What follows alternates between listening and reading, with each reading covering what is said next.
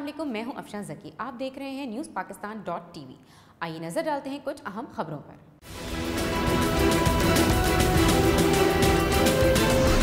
حکومت کا مولانا فضل الرحمان سے مذاکرات کے لیے کمیٹی بنانے کا فیصلہ۔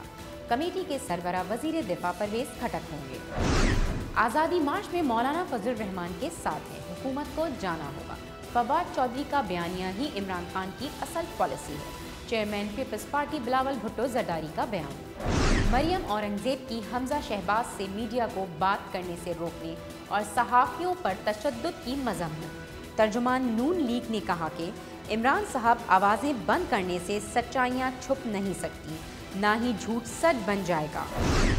برطانوی شہزادہ ولیم اور شہزادی کیٹ مڈلٹن چترال پہنچ گئے، جہاں ان کا شاندار استقبال کیا گیا۔ شہزادی کیٹ نے اپنی ساس شہزادی ڈیانا کے نقش قدم پر چلتے ہوئے مور کے پروں سے سجی خوبصورت چترالی ٹوپی پہن رکھی ہے۔ وفاق کراچی پر قبضہ کرنا چاہتا ہے، مگر ہم آئین کے برعکس کوئی کام ہونے نہیں دیں گے۔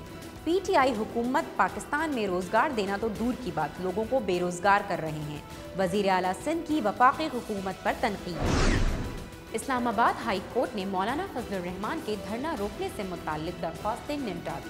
مقامی انتظامیہ کو اس معاملے سے متعلق فیصلہ کرنے کا حکم۔ دھرنا دینا ہر شہری کا بنیادی حق ہے۔ Chief justice Islamabad high court کے remarks.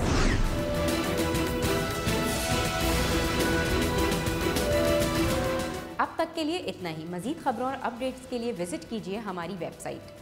News Pakistan dot T V. اللہ حافظ۔